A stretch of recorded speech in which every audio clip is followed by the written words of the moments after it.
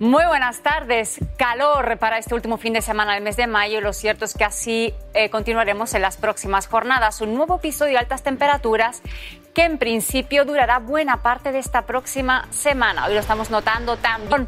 ¿Y qué es lo que va a suceder los próximos días? Pues eso, que se irán aumentando en algunas regiones. Fíjense hoy, descendiendo de forma notable en el tercio norte, aumentando en la vertiente mediterránea, ambos archipiélagos. Para mañana sí es cierto que con el viento del cierzo descenderán en el Valle del Ebro especialmente, en los Pirineos, siguen aumentando en regiones del sureste, pero para el martes fíjense como un nuevo aumento térmico estará por consolidarse en buena parte de España sea eh, en principio de cara al jueves, cuando ya a partir de ahí, desde entonces, comenzarían a descender.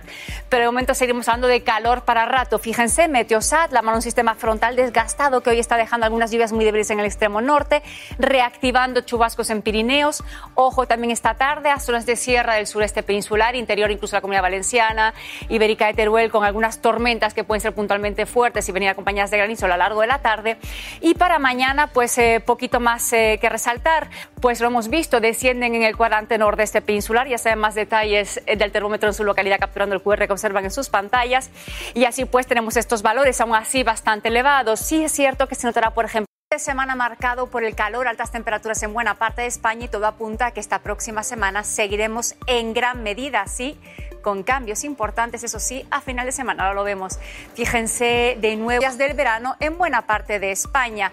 Para mañana sí es cierto que descienden en el cuadrante nordeste peninsular, viento del Cierzo, apretando en el Valle del Ebro, también áreas de la Comunidad Valenciana, aumentan algún cuarto grado en otras zonas de la península, pero para el martes fíjense cómo volvemos a hablar de un aumento importante de las temperaturas, especialmente las máximas en la mitad norte. Y ello, pues a partir de ese momento, comenzarían a llegar de nuevo los cambios en forma de descenso térmico y de precipitaciones y tormentas a varias regiones. Fíjense en Meteosat, hoy jornada marcada por el paso de un eh, sistema frontal muy desgastado, incluso que ha reactivado mucho calor en gran parte del interior, mitad sur peninsular, situación que va a continuar con el avance de las jornadas. Lo vemos ahora tras un consejo. Llega el verano y aún no tenéis plan, tranquilos en MSS Cruceros, os espera una aventura inolvidable en el corazón del Mediterráneo y a la belleza te espera. Nuevo episodio de altas temperaturas, temperaturas propias del verano en el que estamos inmersos durante buena parte de la próxima semana. Un ejemplo, fíjense lo que va a suceder con máximas y mínimas.